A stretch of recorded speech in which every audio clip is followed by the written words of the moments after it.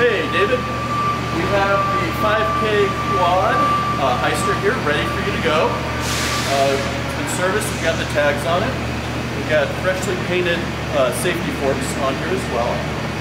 Come around here, I'd like to show you a couple of features that I think are actually special to your lift.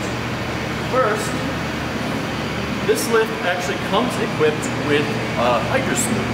This is something that uh, we didn't really talk about. But this actually makes the operation of the masts when they go up smoother in the transition. So I know you've got those really, really high boxes.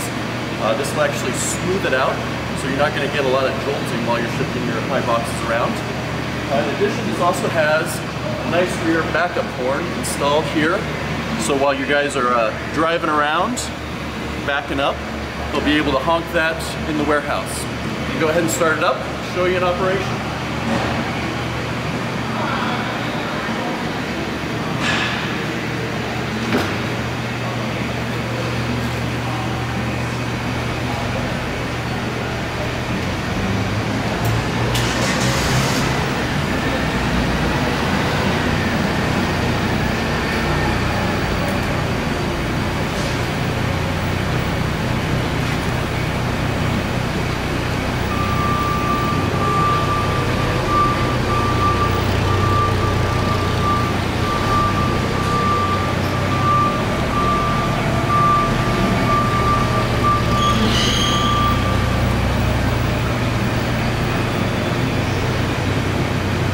In addition, as we discussed, this does not have a Monotrol.